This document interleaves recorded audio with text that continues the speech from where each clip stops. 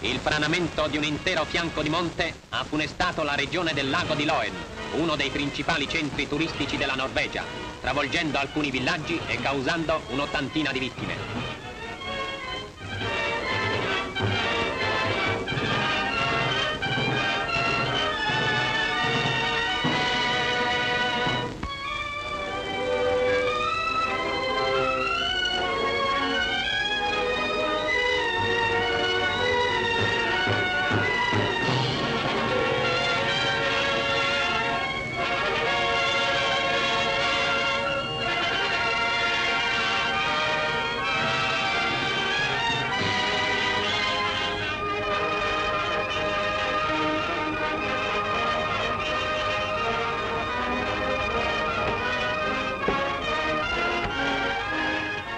In seguito allo spostamento provocato dalla massa di milioni di metri cubi di terra e sassi precipitati, il fiume ha cambiato letto.